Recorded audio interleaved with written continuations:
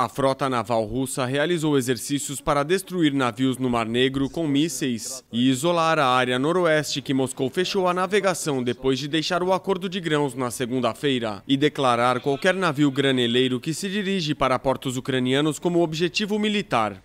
O Ministério da Defesa da Rússia disse em comunicado que durante o exercício a tripulação de navios Ivanovets disparou mísseis de cruzeiro no navio-alvo na região noroeste do Mar Negro. Durante o exercício, os navios e a aviação da frota também treinaram ações de isolamento da área temporariamente fechada à navegação e realizaram um conjunto de medidas para parar o navio infrator previsto para as manobras. Estes exercícios acontecem depois de a Rússia ter se retirado na segunda-feira do acordo que permitiu à Ucrânia exportar durante quase um ano mais de 32 milhões de toneladas de cereais de três portos do país através do Mar Negro. Depois de retirar as garantias de segurança para a navegação no Mar Negro e fechar o corredor marítimo humanitário por onde os navios exportavam grãos ucranianos, a Rússia alertou que considerará a partir do dia 20 todos os navios com destinos a portos ucranianos como possíveis transportadores de carga militar e, portanto, potenciais alvos de guerra.